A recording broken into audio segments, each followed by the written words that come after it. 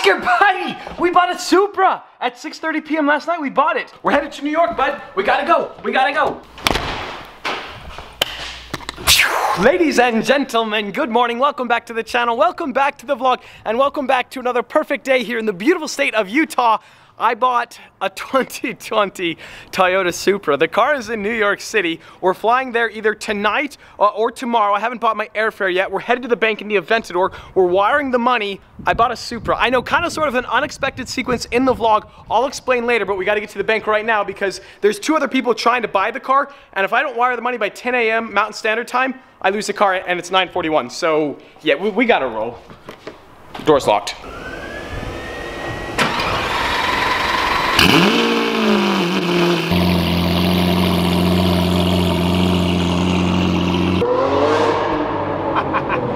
Corsa mode. The Aventador is an absolute disaster from the Sun Valley shenanigans. 20993, I, I, I don't really want to wash that off, but I kind of sort of need to. Also, JP Morgan Chase, not a paid product placement, but if it could be, that would be extremely lucrative. I gotta put you guys in the car. The money has been transferred. I officially own a Toyota Supra. the Supra's not gonna sound like that.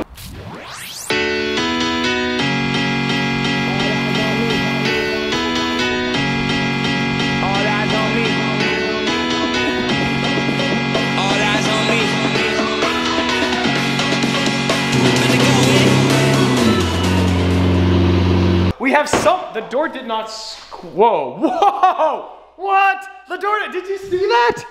How did that happen? Like, what was the sequence that caught, is that, hmm. 2020 Mark V Supra, yes, I did buy one, kind of sort of an unexpected sequence in the vlog, especially because 24 hours ago, yesterday, I had no idea I was buying a Supra. I just got confirmation from the Toyota dealership in Long Island. They received the wire. We need to go book airfare. We're booking a one-way flight because yes, we're driving it back here to Utah. It's gonna be sick. It's gonna be an awesome road trip. Uh, so we gotta go book airfare. Uh, there's a chance today's video might end in New York City because I think I'm gonna fly out tonight. I just realized when I said 24 hours ago I had no idea I was buying a Supra that some of you guys might think this is like clickbait, like I'm scamming you, like I'm not actually buying the car, but I am buying, I bought the car. I've already paid for the car with my own money. The title's gonna be registered in my name. We're flying off to New York City either tonight or first thing in the morning, and we're driving that baby back to Utah. It's a numbered car, it's a limited edition. It's the launch edition, number 304 of 1500. I have some photos of it I'm gonna share with you soon, but first a word from today's video sponsor. I'm excited to announce today's video has been sponsored by Petal, P-E-T-A-L. We've talked a lot on the channel lately about having a great credit score. You know, my Gallardo, I financed it four years ago, I paid it off two years ago. The Aventador is financed right now, and I'm currently working with an architect to design my ultimate dream house. If I went to my mortgage lender and did not have a great credit score, he would simply laugh at me and then hopefully politely ask me to leave. Guys, like having a great credit score, I cannot stress the importance, especially for my younger audience. If you don't have a credit score yet, start working on it today. It will set you up for financial success later on in life. And Petal is the perfect way to get started. Right off the bat with Petal, you'll begin earning 1% cash back immediately. Just signing up, you'll earn 1% cash back immediately. But Petal wants to encourage you to build your credit score. And so if you have 12 consecutive on-time payments, they'll actually bump that up from 1% to 1.5% cash back. Also, there's no fees. There's no sign up fee. There's no late fees. There's no like one year annual fee. There's no fees. Nada. Like nothing. Like no fees. Petal is partnered with WebBank member FDIC who issues the cards. As of today, their variable APRs range from 15.24% to 26.24%. Other cool unique characteristics about the Petal card, there's no credit history required. Like you can sign up with no credit history whatsoever. Credit limits range from $500 to $10,000. Petal is the future of credit. Guys, there's a link at the top of the description box below. Go check it out. Petalcard.com slash Stradman. That's Petal with a T. P-E-T-A-L card.com slash Stradman. Exciting, exciting news. I have new downpipes coming from South Africa being air freighted across the world to Utah, America. Uh, new downpipes for the Focus RS. That was very confusing. And on that bombshell, this is a cold startup on said Focus RS. This is crazy, but this bar, oh, what, why is there that fence? You can kind of see the barn through that chain link fence. That is almost exactly what I want. Whoa, why is the fence there? I'm not really sure I'm allowed to be here, but this barn, this is like exactly what I want built. Like main floor, like eight to 10 car garage. You got the apartment above, like that place is money. So we are actually headed that way, that way, that way to my architect and he's got the first rendering and it almost looks exactly like that. So back to the focus. Pops on. we have some very, very big Jeep Gladiator news in today's video. We might be picking it up the same time we get the Supra. I promise you photos of my new Supra. It's right here, here, here, here, here, black exterior, red leather interior. It's what Toyota's dubbing the Launch Edition. It's number 304 of 1500 and that's it. So unlike the Gladiator Launch Edition, it actually is the first to market. It's actually a numbered car, which is cool.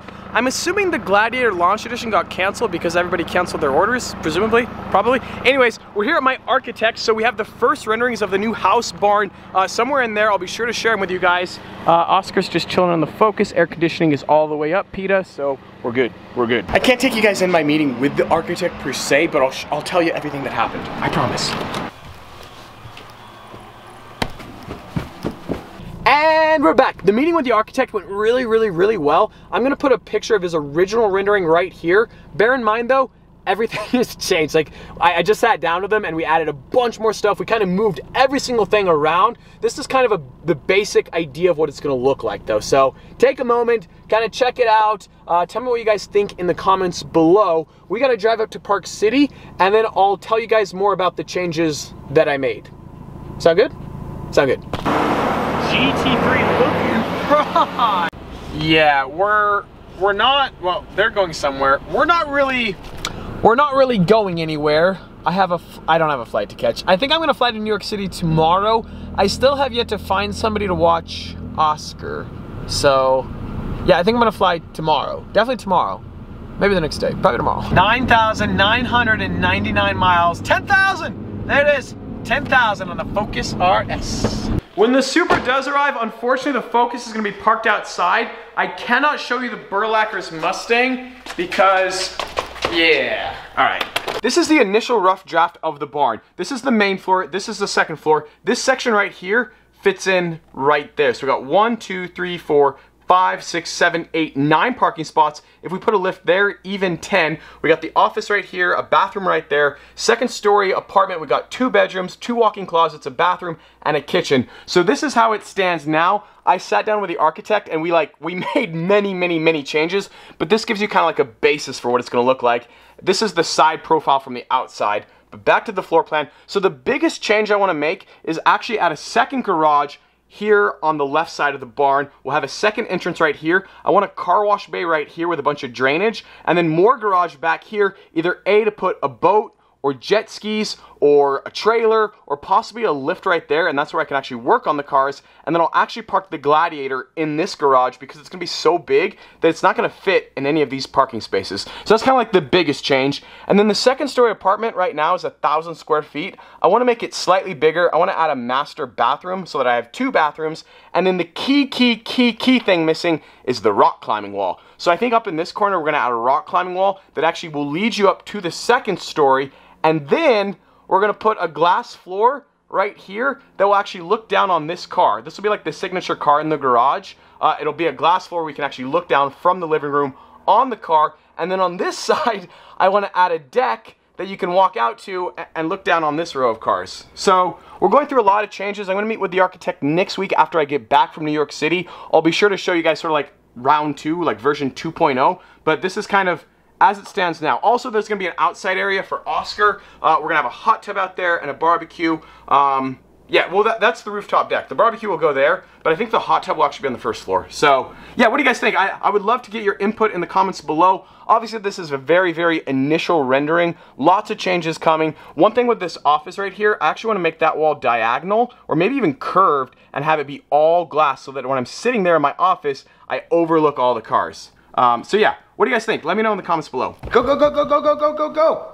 As far as the timeline for the barn build, the architect's gotta finish his and then it goes to the engineer, but I gotta find a piece of land because construction can't start until we have a place to put it. So looking out like into the future, like way, way, way, way out into the future, this is, this is purely hypothetical, guys. So you might need to sit down because it's a pretty dramatic moment. I might someday actually meet a girl. Maybe, maybe. Obviously, I'm gonna have to update my fashion game because the Bumble, the $9 shorts, girls, those don't, they're not, they're not seeming to like, I'm not, I'm not getting a lot of matches. Um, yeah, probably, probably should update my game. Anyways, I might meet a girl, I might get married, I might have a family, and so if I can buy an acre to an acre and a half, I can actually have the barn now, and then someday actually build my dream house next to the barn, still have the barn as the man cave, you know, the guest house, whatnot. Uh, construction will probably take anywhere from six to eight months to complete, so that puts us into spring of 2020. My C8 Corvette is supposed to arrive maybe January, February of 2020, and if it does, and I'm still living with the Burlacker, I don't actually have a place to park it indoors because the Supra is gonna be parked where the Corvette was gonna be parked, but I can't show you the Burlacker's Mustang because he just did his first modification, and if I show it to you, the video's not live, I, I would get evicted, so yeah. I still can get, does sound good, I'll admit it, it sounds good. Just picture the Aventador parked in the barn, whole ceiling is glass, you're sitting in the living room looking right down on it. Oh, it's gonna be so sick. All right, we need to talk Supra. I'm so excited to have the Supra. The opportunity presented itself and I just couldn't pass it up. I'm really excited to do just a crazy, crazy build on the car, and the goal is to do a lot of the work myself. I wanna do a wide body kit, which involves actually cutting the fenders, Will I do that myself? I haven't decided.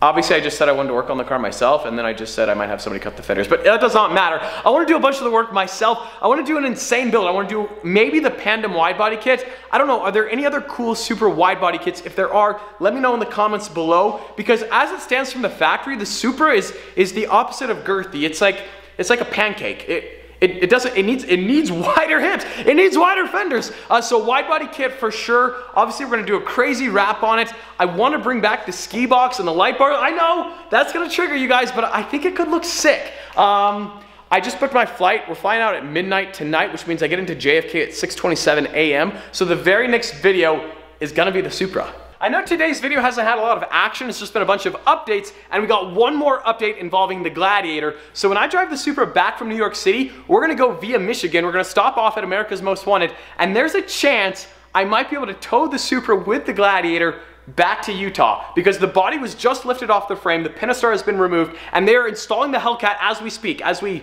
as we as I talk to a camera and you guys watch it via the internet. Uh, they're actually installing the Hellcat right now. Uh, so more updates on that. Uh, but as always, I hope you guys enjoyed today's video. If you did, like squad, be sure to smash that like button. But just like that, this vlog is over and I'm out.